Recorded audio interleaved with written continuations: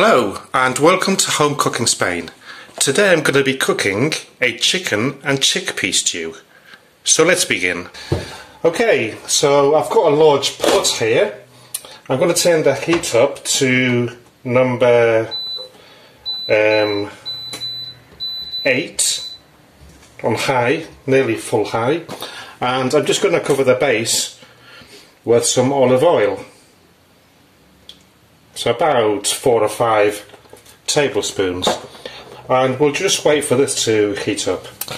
Okay, so once the oil is hotish, what we'll do is add the chicken and I'm going to gently brown it all off on all, on all sides. Um, let's add some salt to this.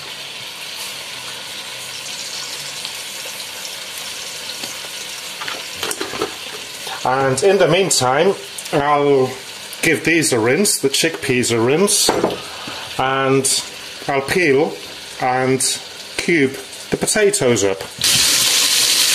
Okay, so once the chicken is sort of browned everywhere, I'm going to add the red peppers. These are frozen red peppers, which I freeze myself. if you want to know how I do it, I'll leave a link in the description. It's noisy, isn't it, today? So let's move this about a little bit. And let them peppers fry also. Okay, so after about five minutes, once the peppers are sort of soft, what I'll do next is add the potatoes, which I've cubed up, small cubes, and just mix everything about.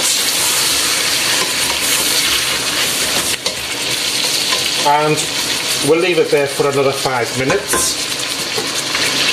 Okay, so after about five minutes, the next step will be to add the stock cube. This is a vegetable one, you can use a meat one if you like, or a chicken one. I just crumbled it up, well, sort of crumbled up because this is a sticky one. So that's there. And I'll also add in a teaspoon of sweet paprika, a nice generous teaspoon. And I'm going to add a bit of yellow food colorant also, just a little bit. Wait, just to give it that extra colour that I like. And I'll add the water. I'll just get a bit more. Right, so the water's in. I'll give this a little slight mix as best as I can. Ouch. And I'll turn this down to number 7, medium high, and I'll cover it up and leave it there to boil for 30 minutes. Okay, I know I said half an hour, but it's been about 15 minutes. And what I want to do is add the chickpeas in. And we'll just cover this back up again and leave it there for the next 15 minutes. So it will total half an hour.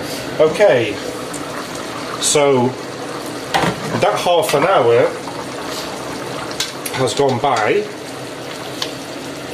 and this is ready. So let's turn the heat off and I'll just move it to one side and we'll serve it up. Okay so here's today's delicious lunch.